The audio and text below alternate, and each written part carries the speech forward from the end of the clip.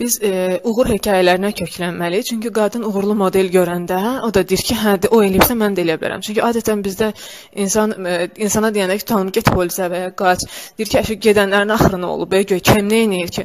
Amma e, uğur hekayələri olsa bizə daha rahat olar. 10 nəfər qadının qaçmaq planı və bura istəyirəm ki, lezbiyan, lezbiyan qadınlar da olsun və ya trans qadın da olsun, çünki onlar da qadındır uğur hekayələri e, və həmin uğur hekayələrini biz bloqumuzda paylaşırıq mütəmadi və hər uğur hekayəsi də illüstrasiya ilə müşayiət olunur. Necə ki, Meydan TV-də bu illüstrasiyalar çəkilirsə, o cürə bir 10 dənə ən azı hekayə paylaşılmasını düşünürəm.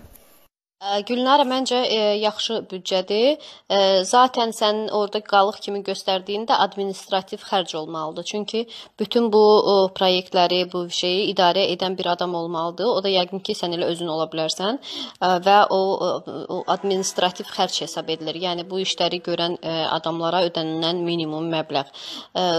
Normal qrant layihələrində adətən minimum 15%, yəni bütün summanın 15%-i administrativ xərc kimi yazıla bilər. Sən elə o summanı da administrativ xərc olaraq yaz. Hello, hello. Bu da mənim səsim. Qızlar, bir şey deyim, Gülnarə, yəni hamımız bir onu deyim ki, yəni Fəridin yaratdığı çox yaxşıdır. Fəridin bu təşəbbüsü ki, bizə kömək eləyir, çox yaxşıdır, sağ olsun.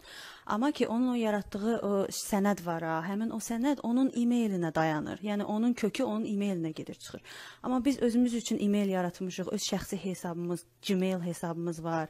Onun da drive-ı var da, yəni orada olan o ə, necə deyim, cloud-da, memory-də, yaddaşda saxlamağa hər şeyi, yəni sənədləri hazırlayıb orada saxlamaq olar. Mən orada ə, bir sənəd ə, yaratmışam Excel formasında. Orada aşağıya düşəndə GoFundMe pulları, Avro Avropadan gələn pullar, ə, onları hara xərclədiyimiz barədə şey yaratmışam, schedule-da, necə deyim, cədvəl yaratmışam. Orada gedib bütün dəyişiklikləri orada eləsən daha yaxşı olar. Çünki o sənəd öz əlindədir. Yəni bizim bu 6 nəfərin əlindədir, başqa heç kim.